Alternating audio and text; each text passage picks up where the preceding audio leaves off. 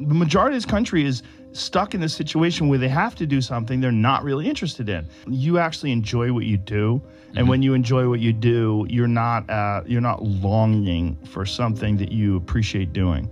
I think there's a real problem with a lot of people that their day is a lot of suffering Yeah. and uh, I'm, you know, not real suffering, but it's discomfort. I know what you a- mean. They don't enjoy it. They don't like their job, and so when they get home, they cannot wait to get in front of that computer and play a video game, or get Yeah. wait to binge on some Netflix and order some food that they enjoy, but that's bad for their body. Yeah, and it's totally normal, but it may prevent them from getting to their long-term goals if they're, you know what I mean, if they're Yes. doing that all the time. But it's I get it.